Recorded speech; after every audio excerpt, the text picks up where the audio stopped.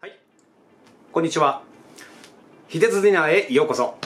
ね、えー、今日の関東地方は9月に、まあ、入ったんですけどね非常にこうまだまだ蒸し暑いね、えー、一日となっております、えー、今日はね晩酌で、えー、最高のお供枝豆をご紹介したいと思います。はい、えー、ポイントとなるね、えーまあ、茹で方もそうなんですけども、えー、商品レビューのようにね最近私の食べた中でこれは一番だって思う群馬県産の枝豆をご紹介したいと思います。ではね最後までご覧ください。はいでは茹でていきたいと思います。今日は、えー、群馬県産の魅力という枝豆を使っていきます。はい、えー、魅力は1番。天狗印は甘みと香りが違う。気になりますね。では茹でていきます。はい。えまずこの下準備で、えー、洗います。いけるのかな？はい。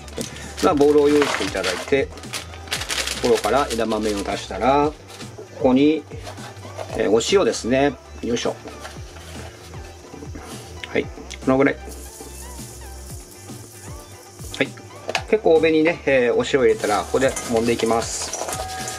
あのひね、えー、枝豆のこう細かいひげがあるんですけどこういうのをね取り除くように洗っていきます。よいしょ。はい。洗いながらお湯を沸かしておきます。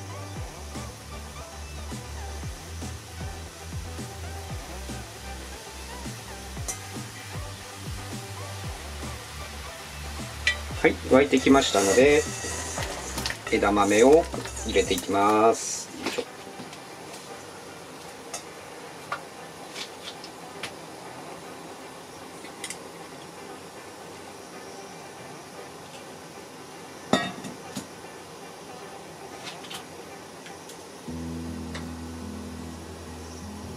もう一回沸騰させます。そうするとさやさやがね少しこう開いていくんですね。その頃がこう目安かなっていう感じがしますね。ちょっとかき回してあげて対流を作ります。どうですか？こう色が変わってきたでしょう。緑色に。もうしずる感が色で溢れてませんか？まあそうですよね。はい。まあ、だんだんねこう次の沸騰の瞬間ぐらいではい。よろしいかと思います。口って言ってるでしょこれね鞘が開いてるんですよ。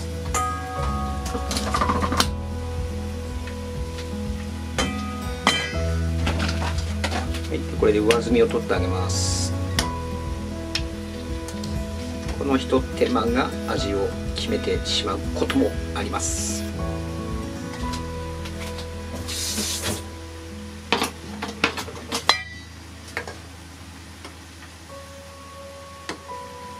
うん。いい匂い。はい。このぐらいで OK です。はい、えー、茹で上がりました。完成です。いかがですか？枝豆です。色よく艶よくねざるに開けて少しね、えー、冷ましてから冷蔵庫で保存し,、えー、保存しておくと、えー、美味しくね長く召し上がることができます。ではまた。